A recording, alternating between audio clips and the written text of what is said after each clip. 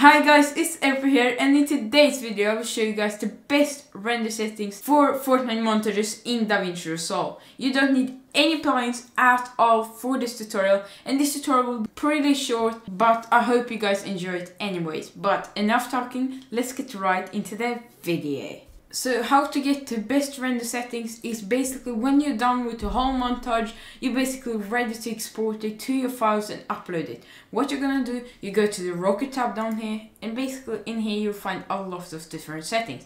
So basically the first thing you need to do is name the file something. So I will just name it test, writing whatever you want here.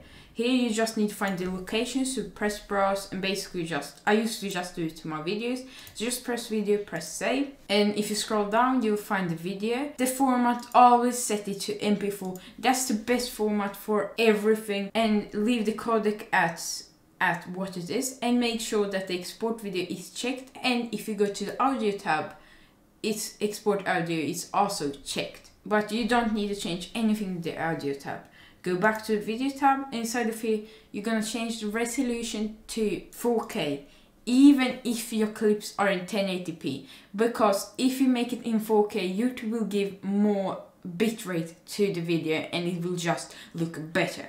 So make it to 4K, then we'll scroll down and to the quality you go to restrict to and basically this different for every, so basically this is different for every clip or montage you just need to drag this to the right until until it says stop and you can't drag anymore. So for me it's uh, currently 14,000 for this clip but it will be different for everyone. So just drag and when you say stop don't do anything more just leave it as it is.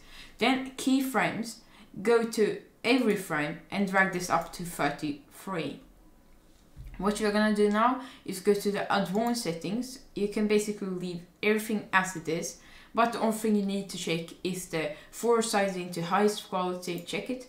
Force debayer to highest quality, check it too.